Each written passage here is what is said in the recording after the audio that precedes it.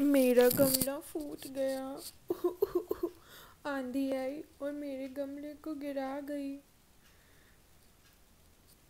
जुड़ नहीं रहा है ये। अब मैं क्या करूँ?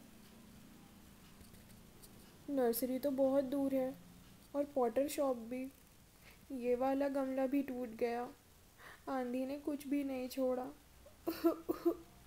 अब मैं क्या करूँ? मेरे पास तो कोई आइडिया ही नहीं है ऐसे जोड़ने का। क्या करूँ क्या करूँ? कुछ समझ में ही नहीं आ रहा। हम्म। फेविकॉल।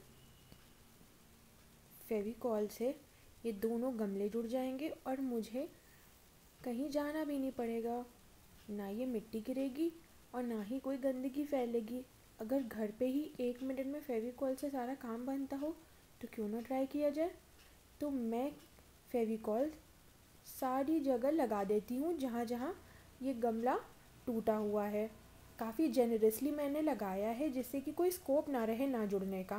फेविकॉल तो चुटकियों में जुड़ जा, जुड़ा देता है चीज़ों को तो मेरा गमला भी ज़रूर से ही जोड़ देगा। हम सबका प्यार फेविकॉल। तो मैंने बहुत जेनरसली इस गमले में फेविकॉल लगा लिया है। और मैं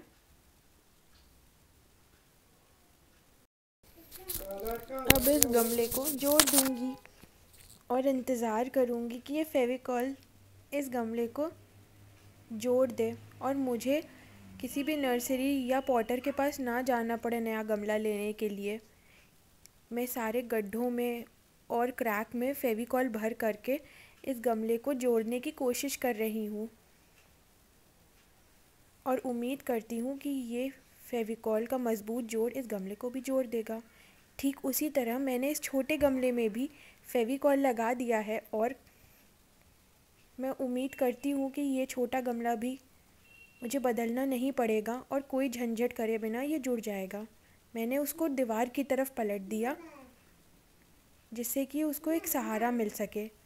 छः से आठ घंटे रुकने के बाद मैं अब चेक करती हूँ, इस उम्मीद से कि ये गमला जुड़ चुका होगा। और डा ये गमला जुड़ गया है। वाह, फेविकॉल का मज़बूत जोड़। उसने मेरे दोनों गमलों को जोड़ दिया और मुझे किसी भी पॉटर के पास या नर्सरी के पास नहीं जाना पड़ा। ना ही मेरा प्यारा सा प्लांट डिस्टर्ब हुआ। ये अपने ही पुराने घर में रह सकता है। आप मेरे चैनल को सब्सक्राइब करिए।